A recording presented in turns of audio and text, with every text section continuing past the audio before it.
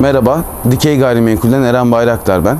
Şu an Büyükçekmece Güzelce Mahallesi'nde 4 artı 2, 235 metrekare kapalı alanı olan bir villa tanıtacağız size.